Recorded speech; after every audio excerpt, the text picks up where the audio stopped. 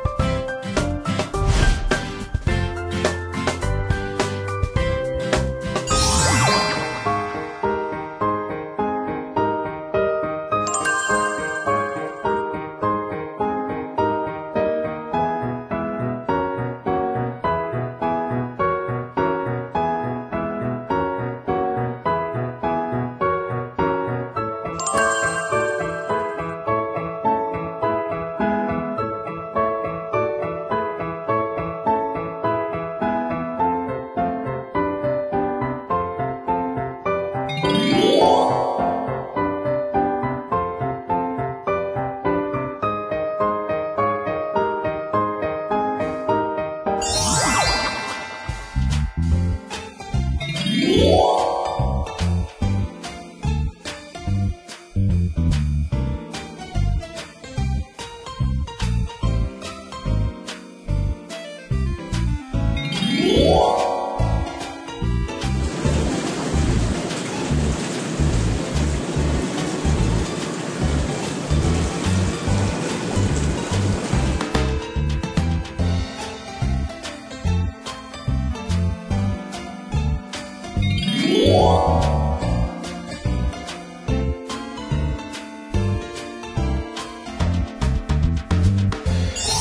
허브의 원산지인 지중해의 동화를 테마로 직접 주인공이 되어서 또 다른 세계를 체험하며 쉬었다 가실 수 있습니다.